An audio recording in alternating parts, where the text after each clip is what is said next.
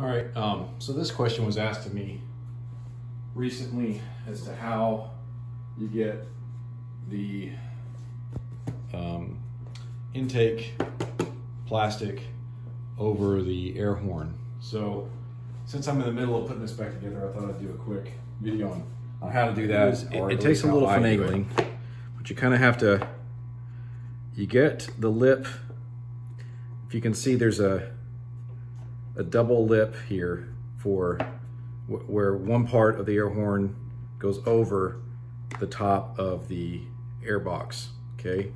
So when you get that started, you just take a Phillips head screwdriver. I just use a small, um, this is a number one, I think, Phillips, and just work around very gently. I'm not, I'm not pushing very hard. I mean, I'm using two or three fingers to do this because uh, I don't want to tear it.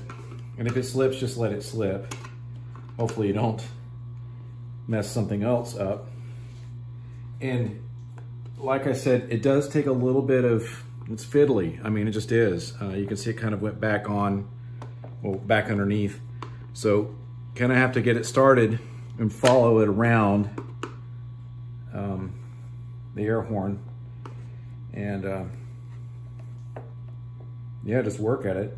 Now I'm using a whole hand because there is, there is a, quite a bit of pressure at the front end because um, the air box is kind of kicked to the back.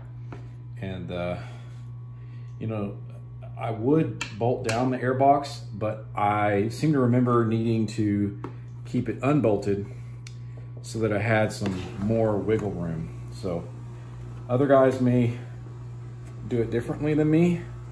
Probably there's a better way um, than this, but this is what is working for me with the tools that I have and the level of intelligence that I hold. So if you find me to be stupid, um, well then do it your own way and dislike this video. I don't care, right? That's the attitude, right?